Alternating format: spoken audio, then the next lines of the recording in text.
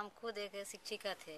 तो उस अपने शिक्षिका में जो डेढ़ सौ बच्चों को आश्रम में संचालित करते हुए उन बच्चों को पूरे आदिवासी बच्चे थे। उनको हम पढ़ा रहे थे, लिखा रहे थे।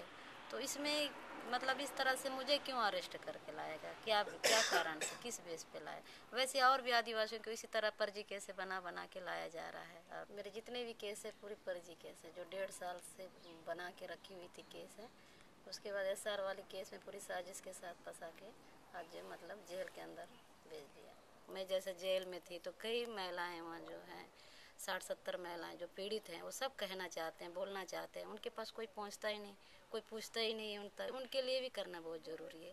अगर बाहर से जैसे जो संगठन है, उनके भी दुख दर्दों को पूछा जाए, पूरी सर्वे किया जाए, गाँव में क्या स्थिति है, क्या है, कैसे आदिवासी लोग रह रहे हैं, किस हालत में रह रहे हैं, ये सब चीज़ों को अगर एक अच्छे से वो कार्रवाई किया जाए तो इस तरह से मदद हो सकता है। वो मतलब इतने सीधे साधे हैं। एक तो पहली बात तो उनमें अशिक्षित हैं, जो बोल नहीं पा रहे हैं। मतलब वहाँ के लोगों को शिक्षित करना बहुत ज़्यादा ज़रूरी है। जैसे कि मैंने आज पढ़ी लिखी थी तो इतना कुछ कर ले, इतने अत्याचार होने के बावजूद भी खुल के लड़ा है। वो बेचारे अनपढ़ हैं, अशिक्षित हैं तो उनको ये हक अधिकारों के बारे में बताना पड़ेगा। उन सबको समझाना होगा, उनको एक शिक्षित लेवल में ले जाना होगा।